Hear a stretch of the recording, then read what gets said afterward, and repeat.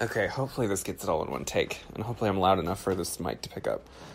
So, after a wild year of being sold around the world in all these different countries Japan, China, South Korea, Denmark, Europe, European countries, European territories, Canada, Mexico, United States, Target, Walmart, Barnes and Noble, Books a Million, Half Price Books, I just all across the board. It went everywhere. Poland, it just hit. Um, hit Moldova, like countries I haven't had on my brain since like geography class, because you know you just forget about stuff like that. just super cool. But here's the thing, because I don't mean to sound unappreciative and like that's not cool, because it's super cool. This is a lifetime achievement of cool right there.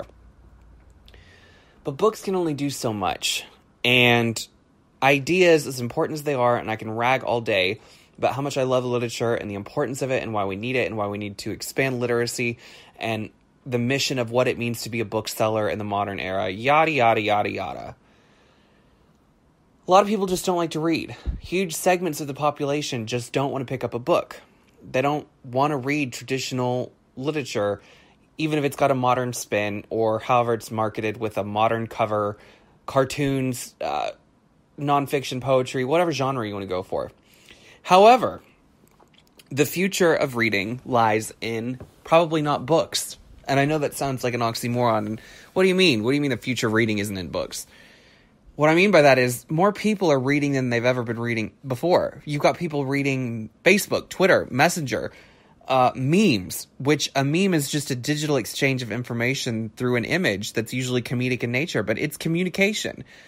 And that's all writing really is. It's communication that's preserved, right?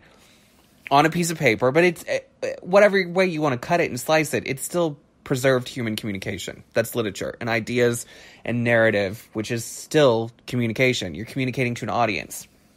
The root of every book is alphabetized communication through a serial ISBN code. That's the heart of the matter what I mean by the future of literature won't be in books is I think it'll be in the way we communicate through media, images, uh, not necessarily just movies and and clips and YouTube and those type of medias, but the way that we communicate to other human beings is now becoming more and more digital and digitized you know, back in 2010 to 2011, when I first stepped in the literary industry, the industry was changing because of the sudden switch to ebooks and the Nooks and all the devices that were coming online at the time that have now become really streamlined and accessible to everybody beyond laptops and desktops.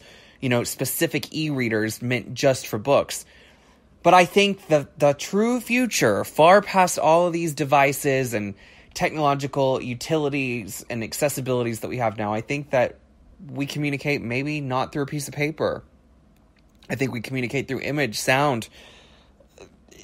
The terms that I'm looking for don't even exist yet. There is no language to communicate what I mean about the future of language, ironically.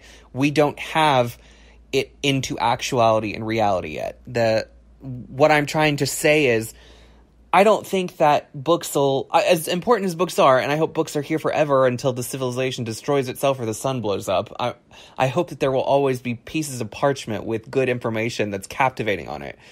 But I think that innovating and pioneering in new directions means learning to communicate in ways that go outside of that four by four page. Um, you know, we have social media and we're enraptured with social media and Facebook and Instagram and Twitter and we're devouring, consuming, creating, writing as everybody. The general public is writing messages and m- messaging statements on these platforms and apps. Everybody's a writer. They just don't realize it. They may not have a publishing contract. They may not be uh, sold in 20 stores or sold in indie store or commercialized or unknown or infamous, but people are writing. They are expressing their thoughts and beliefs and ideas through digital mediums. So we as booksellers need to rise to the occasion to get there. We need to get to that point. We need to go to that space and that place and create and and mine that place because it's so new to enable the future of literacy, whether it's on a page, off a page, or in a cloud.